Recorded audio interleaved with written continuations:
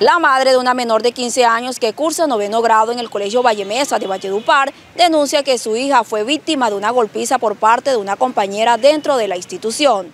La estudiante tuvo que ser hospitalizada en el Rosario Pumarejo de López. Lo que sí que me enteré ayer, eh, ellas como que ya habían venido teniendo una discusión que, por un amigo en común.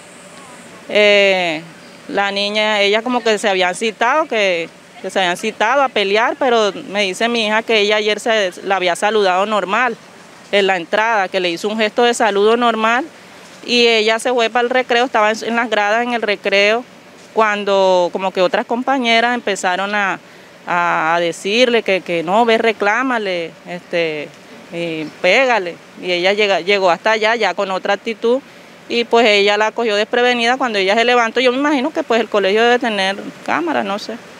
Ella cuando se levantó entonces ya se vio, dice ella que vio a la niña dándole golpe encima, pero también sentía que otras la habían agarrado las manos para que no se defendiera y que otros le daban patadas por la cabeza y eso, o sea, de pronto serían, no sé, sería alguna compañera de la otra niña o algo. ¿La otra estudiante es compañera de, del salón de ella? Sí, señora, que lastimosamente que compañera de clase. Me enteré por medio de una alumna que vive cerca de la abuela de ella, que estudia en ese colegio. Me ha llamado a decirme que fuese de urgente, que la niña le, le habían dañado la cara y que estaba en un problema grave, que fuera, pero que no me demorara. Y pues gracias a Dios que yo estaba como cerca del sitio, del colegio, llegué, llamé al papá, llegamos allá en el momento y eh, también esperé de que el colegio de pronto me hiciera, me llamara, pero no. O sea, vi que primero fue, de parte de la alumna y me preocupa la cuestión de que hoy en día, bueno, fue mi hija, sea lo que el problema que haya sido con las dos niñas, pero ya tiene que el colegio tomar unas medidas que solucionen ese problema de que de pronto se ha venido presentando ya muchos casos, el cual de pronto ellos no han tomado el control de eso y eh, en el día de hoy mi hija, de pronto sea el de otro más adelante.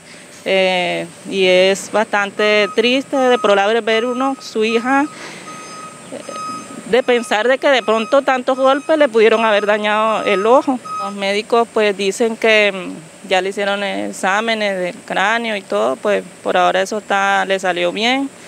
Eh, solo lo que tiene son las secuelas de los golpes, el golpe que cerca de la vista y mm, como sí, este, rasguños y muchos golpes.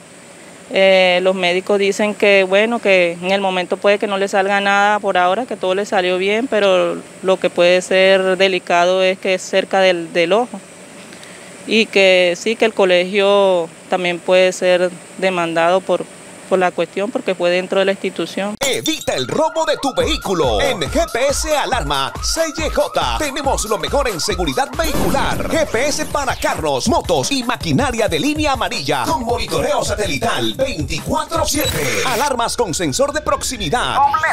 Sencilla. Todas con encendido a distancia. Cámaras de seguridad. Sistema de bloqueo central para puertas de carros. Llámanos 313-803-6453. 305 240-1014. Diagonal 18D 2050. Los Caciques.